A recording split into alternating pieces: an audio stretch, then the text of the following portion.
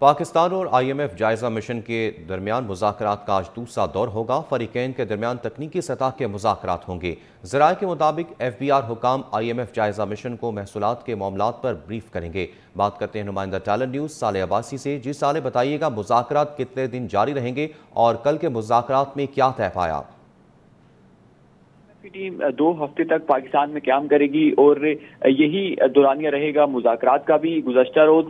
तारुफी session हुआ I M F की team वजारत खजाना पहुँची और जो आई एम एफ़ की जानब से इब्तदाई आदाफ दिए गए थे पाकिस्तान को और फिर आगे मुख्तु वजारतों ने जो कारकर्दगी पेश करना थी, वो तमाम तर चीज़ें जो है वो जेर बहस लाई गई और वजारत खजाना हुकाम ने गुजशत रोज आई एम एफ़ को ये बताया था कि हम आपके जो शराइ हैं उस पर अमल पैरा हैं और आई एम एफ़ ने भी सख्ती से अमल पैरा रहने की हदायत की थी।